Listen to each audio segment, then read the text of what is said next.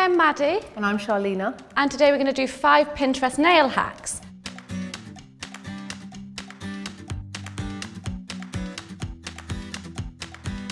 The first one we're going to do is making a polka dot effect with a hair grip.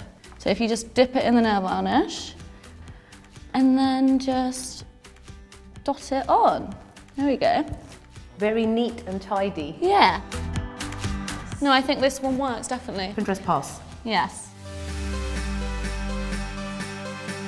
So the second Pinterest hack we're going to try is creating a French manicure effect with an elastic band. Really? Yeah, Oh, I'm not so sure. So I think you basically put the band in position where you want it Yeah. and then put the nail varnish across the end. I don't know if you're meant to leave it to dry. Okay, let's take it off and have a look. Okay. Oh, no. Well, it has smudged down. I'm not too sure. I feel like with practice it could work. You can't get the line straight. Okay, so that's a no. This for is a Pinterest fail, we think.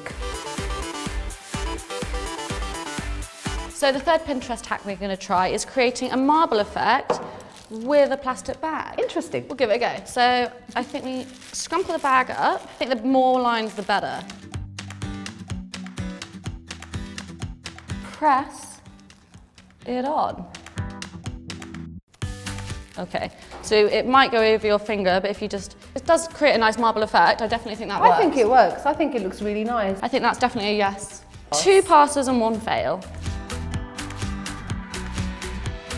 I'm going to try two different types of nail hacks. The first one I'm going to try is using a liquid eyeliner to draw a design on my nails and then to set the eyeliner to put a top coat on top. What do you think? Are you arty enough? No, I'm thinking lines. Maybe a squiggle because lines are too straight.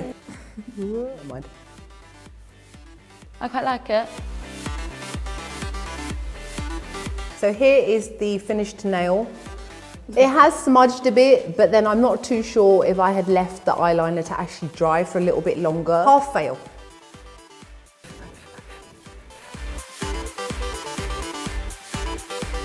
So the final Pinterest hack we're going to try today is water marbling on the nails. Have you heard of that before? Yes, and I'm very excited to try it. So what you need is a glass full of room temperature water, as many nail polishes as you want, and then you need some sort of hair grip Paper or clip. paper clip or something like that to do little designs. Shake it about. You want it to come out? Wow.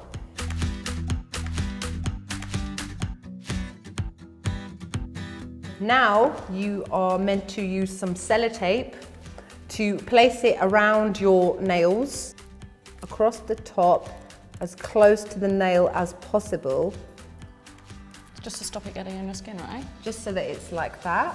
That's nice. What we are supposed to do, fingers crossed, is put the nail inside the water. What way? I'm just, oh, oh, oh. That's so cool. It doesn't look too bad. And because of where it's been, it should just be on the nail. So, not bad result. It's the first time that I've ever done it. It does appear to look mm. like a slightly crumpled flag on my finger, but generally I think it's a pass. I think it's just something that you have to Practice. have a little bit of practice with. We hope that you enjoyed our Pinterest nail hacks video, which was what, like three and a half Yeah, three and a half passes, which is not too bad, really. Like, comment, subscribe, leave any comments below that you might have, and have a lovely day. Bye.